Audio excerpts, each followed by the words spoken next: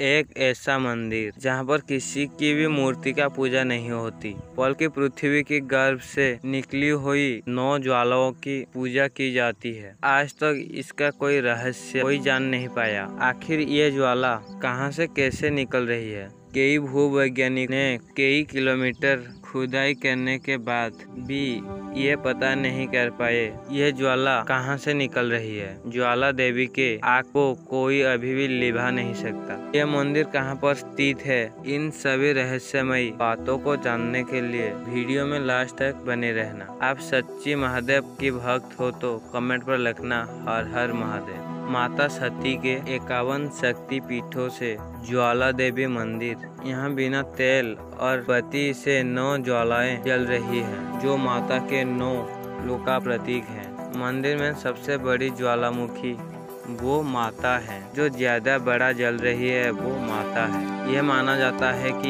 यह मंदिर सतयुग से है।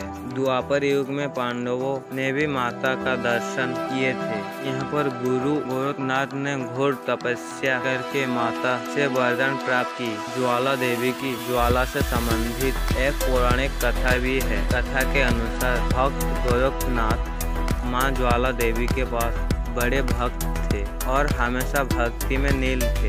एक बार भूख लगने पर गोरखनाथ ने माँ से कहा कि, माँ, आप पानी गर्म करके रखें, तब तक मैं भिक्षा मांगे आता हूँ।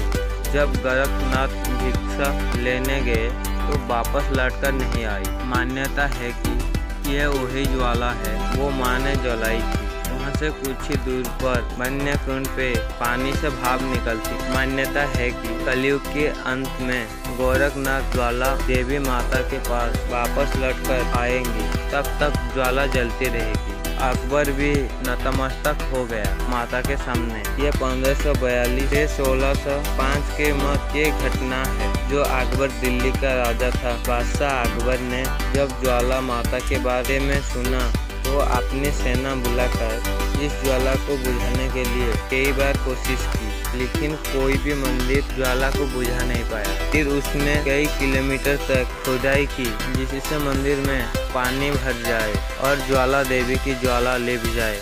इसने भी वो नामयाब रहे। बाद में वो माता के इस चमत्कार को देखकर नतमस्तक हो गया।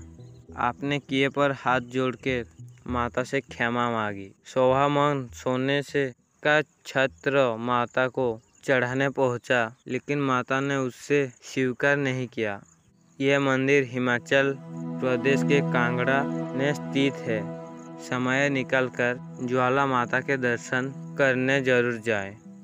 एक बार ज़ोर से बोले, जय ज्वाला माँ। एक बार कमेंट पर लिखिए, जय ज्वाला माँ।